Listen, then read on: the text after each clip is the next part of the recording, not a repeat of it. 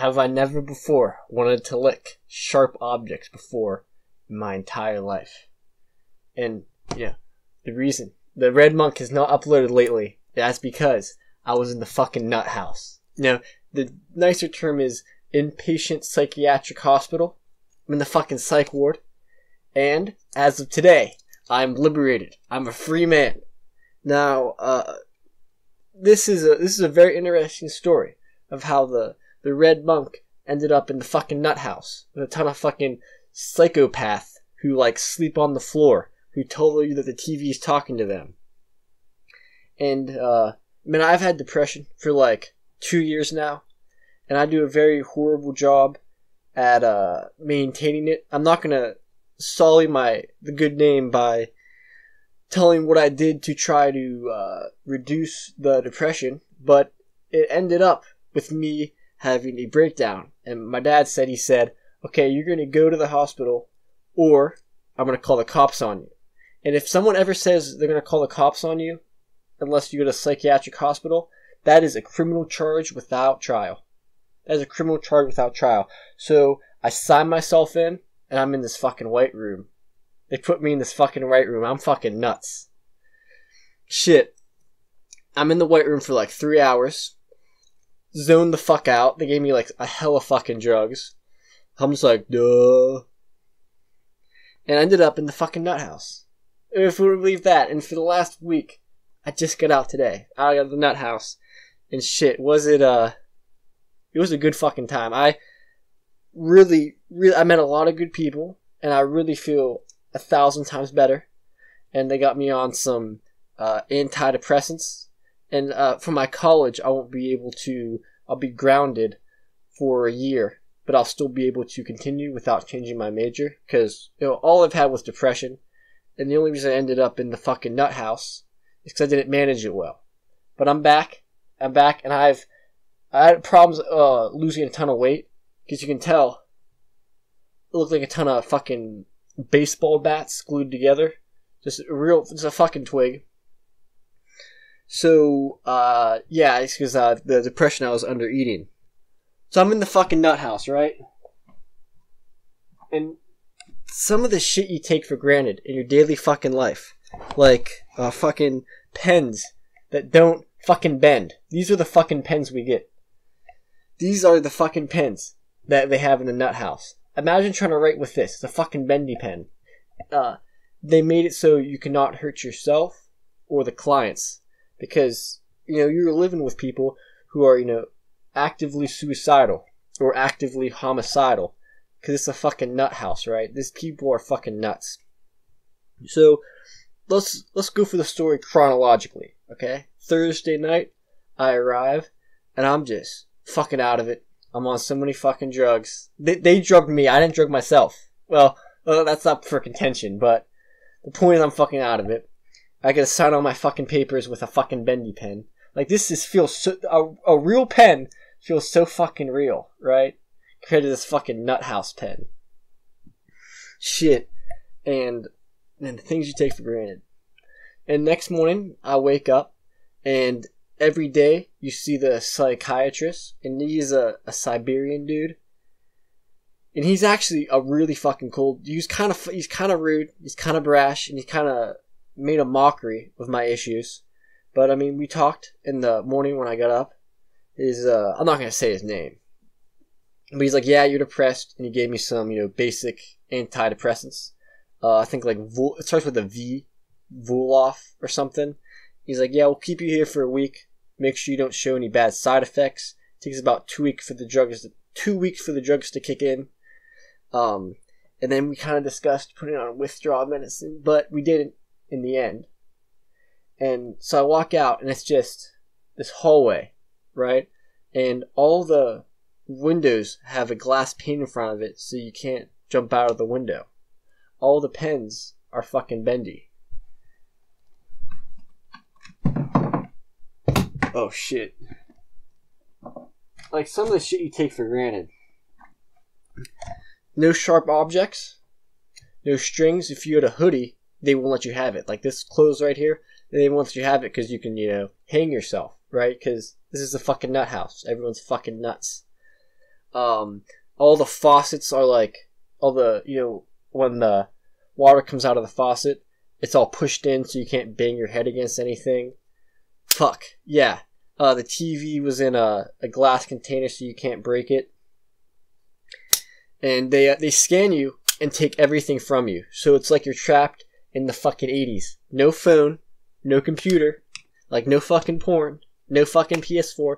All you have is TV, which is live. And it was actually a pretty nice fucking stay. I met some really nice people. I'll I'll go through the people I met by their uh, first letter of their name, so you know you know privacy privacy reasons. The first person I really started talking to was in her fifties. She has a son uh, and another son, and their ages are thirty years apart. And she has uh, like I think schizophrenia or something. And literally, uh, you talk to her, and she's obsessed with the fucking Bible. All she talked about was fucking Jesus. And she's a little bit heavier, but she was nice and sociable. So, uh, yeah, her name was S. The first letter of her name was S. Uh, there was another girl whose first letter of her name was T. And she kept on talking about her inner blank. She was like, I need to find my, my inner country. I need to find my inner chi. I need to find my inner peace. Uh, she was pretty cool. Uh, she keeps on she keeps on talking about how she stressed herself into a miscarriage, which I think she was just imagining it because she's kind of fuck she's kind of loco. I mean, a good person, but insane. And like I'm just here on uh, poorly managed depression, so I'm like, I you can look at me. I'm pale. I'm weird, but I mean compared to these people, they're fucking weird. There's this one guy. His name's uh, K just came out of 10 months in prison because he was a cocaine seller. Uh, this, this guy sold cocaine, and he has a ponytail on the back of his head that looks like a fucking turd. And you could you you would pull it up, and would, the ponytail would stay there. The turd would maintain his position. Uh, his name was Kay. He was pretty fucking cool. Well, we talked for a bit. He's older. I mean, he put he was one of the poor victims of non-violent drug offenders so he got like 10 months in prison over, you know, a certain amount of cocaine because he definitely uses cocaine. And he was a good guy though. He's a nice guy. And I tell you, being in the nut house, I mean, you were trapped inside. You couldn't you couldn't even go outside for a smoke break. You couldn't even like stick your head out the window because, you know, people there are actively, you know, suicidal and homicidal. Like all the silverware is plastic, right? You can't have hard covered books, right? All the food is locked away and you're locked inside. And, uh, but the nurses were incredibly nice. The doctors were, I mean, the, the main psychiatrist, you know, the guy who has a PhD, uh, the Siberian dude, was kind of brash, but he really did help me. And, uh, the nurses were so they were such nice people. I mean, I could have walked up to them and said, "Hey, you effing bitch," and it would have been like, Sonny, go to your room." And I remember the first morning I was there, I'm just like fucking out of my mind, bummed out. And this uh, this black dude comes up and he's like, he's taller, and he's just such in a, a good mood, and you could tell that he really likes helping people. You know, as a, as a nurse, he really likes helping people and he was so nice, and he made me feel so better. And we talked for like half an hour, and uh, damn, he was a good guy. Uh, there was also a social worker whose name was uh, his name began with K as well, and he was uh, very nice. I had some personal problems that he helped talk through with my parents on the phone. Uh, the very impressed by how nice the people were. They were very respectful and nice. I mean, being in the fucking nut house, you'd expect for them to be like a bit, you know, like disrespectful and derogatory, you know, to the patients. But uh, the nurses there were very nice. There's this one bimbo. If you're in the fucking nut house, you're with people who can't form sentences, who like don't understand the basic social quandaries. So if you're a fucking bimbo, uh, put on some baggy clothes because uh, a dude's gonna a autistic schizophrenic is gonna fucking grope you. he has no control over his actions. So this fucking bimbo is like fucking wearing tattoos, wearing fucking deep V shirts. Like she's gonna get groped by a fucking autistic dude. But uh, I found out there. I don't know. Make sure there's no names on this. It might get blurred, but there are these packets you could do. These are pretty thick, but they killed sometimes. Don't ask why it says sober. I would never do drugs. This was a really, really nice read. It's like an interactive workbook. And, uh, I watch movies on the TV. It was like, like I said, I'm used to watching, like, freaking YouTube and, like, watchcartoons.io with ad block enabled. So, like, watching TV with, like, a third of the time being fucking ads was pretty fucking annoying. But, like, the entire Sunday passed in, like, a minute. I got up, turned on the TV, and watched, like, three movies. It was, uh, was Flags of Our Father, which was a pretty fucking good anti-war movie. Uh, the Transporter 3, which was fucking corny, but it was entertaining. Uh, and then the final one was White House Down, which was okay. But like you get up and you turn the TV, and that's how you spend your day. You just watch TV. You get to order what you want for lunch. I mean, you got to eat with fucking plastic silverware. And like, I would leave to get like a, a cup of water. I come back and I leave a plastic fork on the table. And the, the freaking bimbo takes the plastic fork. You can't leave a plastic fork out for three seconds. Yeah, unless it'll get fucking snatched. Three fucking seconds it takes for your plastic forks uh, to remain unattended. Shit, like, what can you do with a fucking plastic fork that you can't do with two fucking fingers, right? What can you do with a plastic fork you can't do with a fucking, I guess it's a pretty weak fucking comb. But, yeah, they get, they uh, gave me some weak shit. And you have, of course, uh, glue fluoride toothpaste that you can't, uh, choke on. But uh oh shit. And I grind my teeth at night. And my mom dropped off some stuff. They wouldn't even let you have my freaking mouth guards, so I, I grinded my teeth a bit. But uh, uh pretty much it was a pretty nice day. I had a really, really it was really it was nice to be in a different environment. It was nice to, you know, meet some different people and it was nice to you know break that rhythm of being in this house where uh, I have a problem with uh, with uh, isolation. You know, I really you know put myself away from other people, and that really contributed to my, the, the depression. So being able to you know meet a ton of people, you know, as loco as they were, was very nice. And the just I could just walk up to a, a nurse and just talk to them for like 15 minutes, and of course they would not be you know genuine with you they wouldn't treat you like a friend, but they treat you like a like a patient who's trying to be who's trying to be uh, you know cured. And it really uh, my symptoms. I had a lot of dark thoughts, and they helped with the dark dark thoughts as they made them seem like yeah they came from my brain, but uh, I want to be right, and I'm not wrong for thinking that way because it is out of my choice. You can't control you know if, how, how you feel. So uh, I stay there. They get me on uh, 0.25 and then up me to 0.5 over the you know, next few days. We play Scrabble, like me and the other, like uh, T and the S, play Scrabble a ton. And uh, actually, last night, I got out this afternoon. I met up with this kid named uh, D. His first name begins with D. He's one year older than me, so we're like the youngest kids there. And he, we talked for seven hours literally this morning, we we we met up, ran in front of the TV, we watched a ridiculousness marathon, and we just sit and talk for seven hours, me and D, and uh, he's such a cool fucking dude. He had uh, he uh, his parents left him when he was young, so D grew up in juvie for his whole life, and God, he has some fucking good stories, and he's a good fucking kid, but um, he totally he's 21 He's done meth, cocaine, heroin.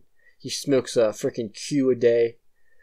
Uh, he was like 400 pounds when he was a kid, but he like lost all the weight when he started using you know hard drugs, and you can see he has like very few injection marks and stretch marks on his arm from uh, how fat he was, and uh, you could tell that he you know shot some stuff up. He, sh- he would mix heroin and meth and shoot it up. He's like, I'm I'm trying to quit that life. He met his parents and his entire family when he was 18 years old, and uh, he went in prison for age 18 and 19 over uh, assault, and he kept on uh, fighting in prison. He kept on uh, beating up people in prison. So he was like shocked by riot shield, and he was in a yeah year and a half in prison. Uh, he's by the time he was an adult, he spent a year and a half in prison before he was even 21. But uh, yeah, D was a really fucking cool guy. I I mean, from what he came from, it's uh, very depressing to hear his story. But you know, talking with him felt really really good, and yeah, we just we talked all morning. I I is a good freaking kid. I gave him my number.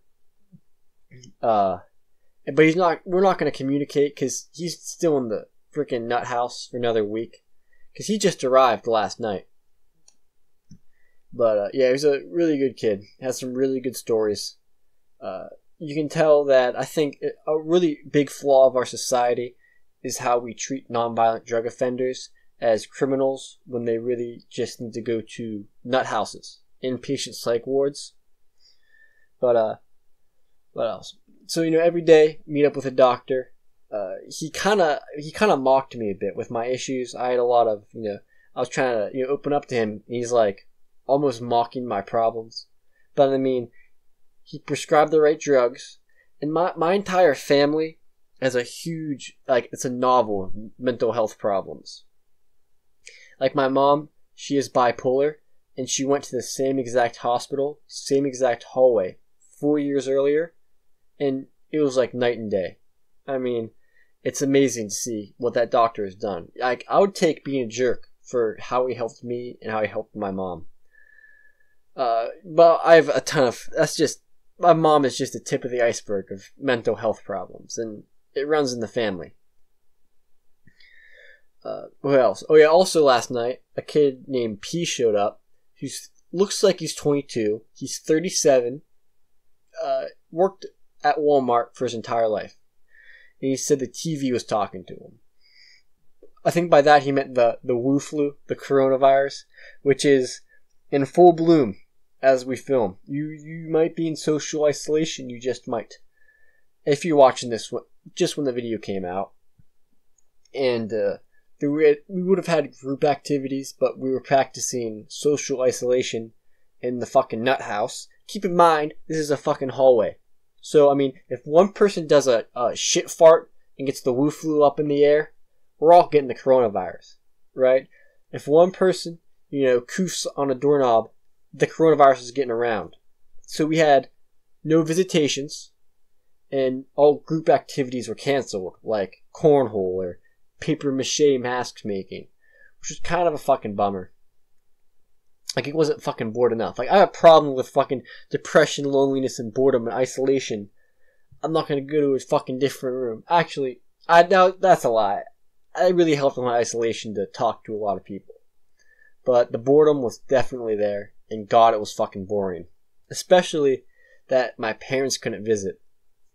I really like. I would get on the phone and talk to my parents for like 45 minutes every night. And when I get out of the hospital, I love being sappy. Uh, a lot of people don't like it when you're sappy, but I really got a lot of respect for my parents, and I did some, I said some things to them that were very rude, and they were just entirely there to support me, and like people like uh, D, I feel really bad for because he didn't have his parents his whole life and I come home to this nice room. I play Nioh 2 and eat sunflower seeds. Ugh. And my dad cleaned my room. He threw away some shit, so I had to dig through the trash to find this fucking shirt. It was my dad threw it away when he cleaned my room, but I played Scrabble with my parents. Just finished doing that, and I really, I really love my parents because they really, they helped me through it. The nurses helped me through it. Uh, the psychiatrist, the man with a PhD from Siberia, you know, as vulgar as he was, he really helped me. He really helped my mom. And I really benefited from being there. And I think it was long overdue to start fucking medication for my fucking depression. But, uh, oh shit. Also got these sick ass fucking socks. They they like non fucking slip. They're pretty fucking lit. But uh, yeah. So my my tip of advice for the nut house is do not uh, if you feel like you have mental issues. Okay, first off, attempt to. There's a perfect mix of using the medical system lightly and getting cured, and uh, this Siberian man, he's very very brash. This psychiatrist, and like me and Dee were talking earlier today, we were just talking about bongs, and no fucking joke, this bitch storms out of the doctor's office saying, "That man is a that man is a bastard. Fire that man. I want you to fire that man. He's so rude." And he just stands there and take it. But uh, I'm like, he's he's like mocking me. I'm like, th- th- thank you, doctor. Thank you, doctor, because he's he knows what he's doing. As rude as he is, he knows what he's doing. But damn. So if you have mental issues, here's what you do. All right, you you take it one step at a time. Uh, that T, that T girl, her, her problem was that she would like Google problems. She would like Google medical medical conditions and then think that she has them, which is fucking stupid. Don't do that. Get don't diagnose yourself. Get diagnosed by a person with a PhD. I'll tell you that right now because you just start making up shit. It'll muddy the water. Uh, and uh, begin if you have mental health problems. Uh, don't try to self medicate. I would never do that because people who might hire me for a job might watch my videos. So I don't take drugs. I would never do that. but uh, nothing that's not prescribed. How about that? That's good. Uh, Jesus, Jesus is Jesus is Lord. I'm a good Christian. Good Christians don't do drugs. But uh, start with uh, talk therapy. A lot of churches have talk therapy where you just talk to someone. They don't prescribe anything, and you know tell you things you might not want to hear, and you know talk, uh, teach you healthy thought practices. And if that does not work, see a psychiatrist. Uh, be honest. Don't expect to have drugs immediately, and don't expect the drugs to be like instant high happy. And uh, uh the Siberian, I'm gonna end on this note. I think the the Siberian psychiatrist said something really fucking good to me that really made me think about people who try to self medicate. I don't uh, do that, but he said, "You can't borrow peace of mind." He said, "In Mother Nature, nothing comes out of nowhere. There's always a, a trade off, right? So if you borrow peace of mind, you have to pay for it again later. It's best to have your mind in a place that the ground state is peaceful because when you borrow peace of mind, you have to pay it back later.